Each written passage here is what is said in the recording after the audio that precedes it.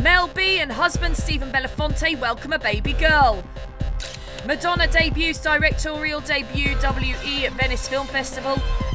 Pippa Middleton picks up a parking ticket. All that and more on today's Celebrity News Beats. After being rushed to hospital in Los Angeles, former Spice Girl Mel B has given birth to a baby girl, her third daughter. Mel, who already has two daughters, 12 year old Phoenix and 4 year old Angel from previous relationships, gave birth to her first child with husband Stephen Belafonte at an LA hospital.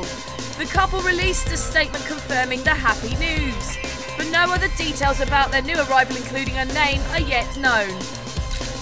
Madonna looks like a youthful butterfly when she flutters onto the red carpet for the premiere of her directorial debut WE at the 68th Venice Film Festival.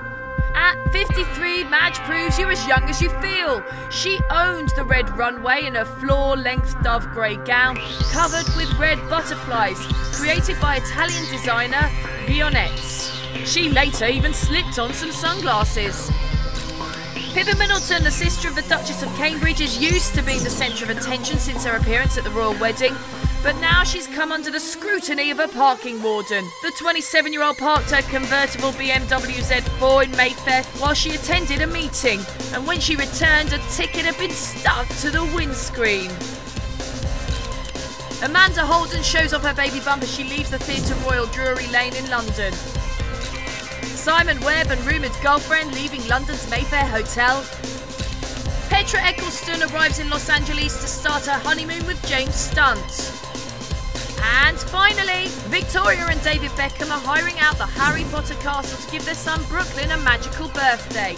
Their eldest son, Brooklyn, will celebrate his 13th birthday with a bash at Alnwick Castle in Northumberland, which is also used as the famous wizarding school Hogwarts in the Harry Potter film series. The fashion designer and her footballer husband want to treat the Harry Potter fan and his friends to a massive party at the castle to celebrate him entering his teens next March, according to the Daily Star.